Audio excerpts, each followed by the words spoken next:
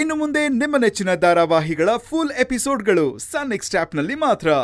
ಅಲ್ಲ ಅವಳ ಆರೋಗ್ಯ ಹೇಗಿದ್ರು ಪರವಾಗಿಲ್ಲ. ಅಮ್ಮನ ಆರೋಗ್ಯ ಸರಿ ಇಲ್ವಲ್ಲ ಅವಳು ಸೇವೆ ಮಾಡೋಕ್ಕಾಗ್ತಿಲ್ವಲ್ಲ ಅಂತ ಎಷ್ಟು ನೊಂದ್ಕೋತಿದ್ದಾಳೆ ನೋಡಿ. ಅದಕ್ಕೆ ಅಮ್ಮ ಹೇಳೋದು ಹೆಣ್ಮಕ್ಳು ಯಾವತ್ತಿದ್ರು ಹೆಣ್ಮಕ್ಳೆ.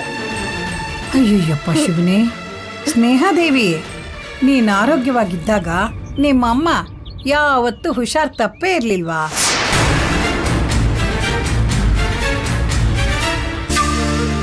ಆವಾಗ ನೀನು ಈ ಕಡೆ ಇದ್ ಕಡ್ಡಿ ಎತ್ತ ಆ ಕಡೆ ಇಟ್ಟಿದ್ದನ್ನ ನಾನು ದಿನಾನು ನೋಡೇ ಇಲ್ಲ. ಏ ಮುದ್ಕಿ ಸ್ವಲ್ಪ ಬಾಯಿ ಮುಚ್ಕೊಂಡು ಸುಮ್ಮನೆ ಇರ್ತೀಯಾ? ಈಗ ಅಮ್ಮಂಗೆ ಆಗಿರೋದ್ನ ನೆನೆಸ್ಕೊಂಡು ನಂಗೆ ಎಷ್ಟು ಸಂಕಟ ಆಗ್ತಿದೆ ಅಂತ ನಾನು ಒಬ್ಳು ಗೊತ್ತು. ನಮ್ಮಿಬ್ರ ಮಧ್ಯೆ ತಂದಾಕ್ಬೇಕು ಅಂತಾನೆ ಕಾಯ್ತಿದ್ಯಾ ನೀನು?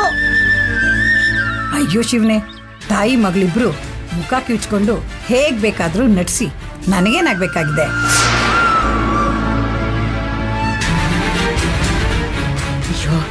ಬಿಡೆ ಸ್ನೇಹ. ಆ ಅಮ್ಮ ಏನು ಬೇಕಾದರೂ ಹೇಳ್ಕೊಳ್ಳಿ. ಅದು ಸರಿ. ನೀನು ಇವಾಗ ಹೇಗೆ ಬಂದೆ?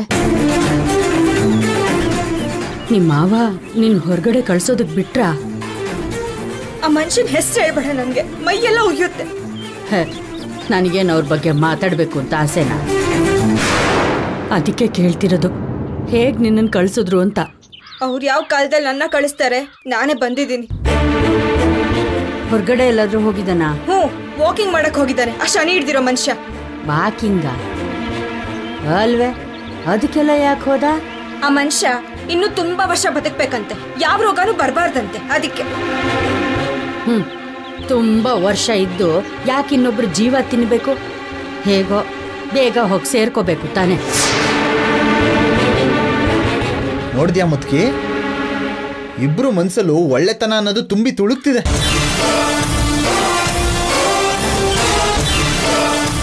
ಏನು ಕೃಷ್ಣ?